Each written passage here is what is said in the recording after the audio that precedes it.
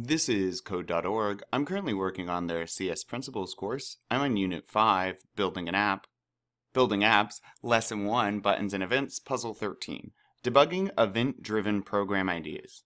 You try it. Checking IDs. Your first debugging task will be to verify that the button IDs match the event handlers. An event handler is this thing that says on event.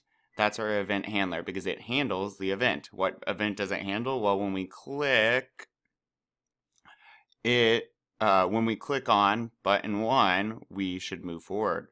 Well, I should hit run. But there's some error. So, you'll see error messages. Yep. Run the program and inspect the error message and debug. Note, an error message only indicates where the computer ran into trouble. It doesn't tell you the root of a cause necessarily.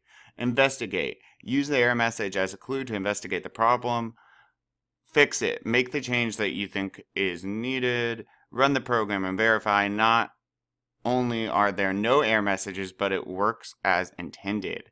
Didn't work? Repeat the steps above. Above. Okay. Design. So there's something wrong. I know from down here it says button 1. So something's up with my button's ID. Okay, button. Oh, here's the button ID.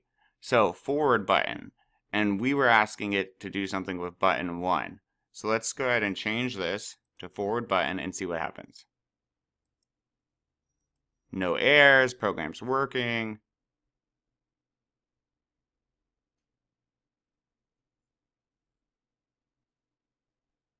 Perfect.